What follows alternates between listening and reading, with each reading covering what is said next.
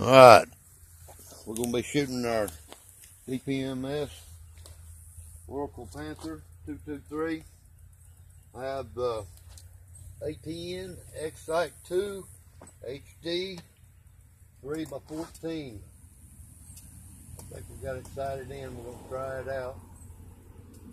Five rounds.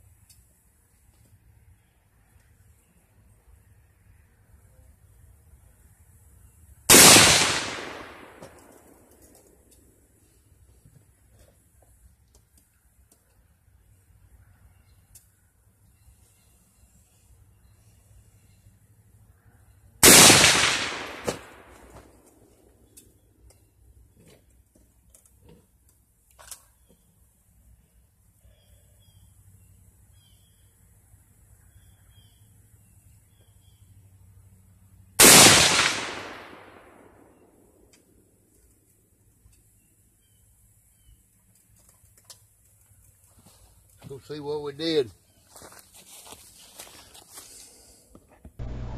These shots were fired at 50 yards using a DPMS Oracle Panther AR-15. The round I was using was a Perfecta 223 55 grain full metal jacket. The sight is an ATN X-Sight 2 HD 3 to 14 power.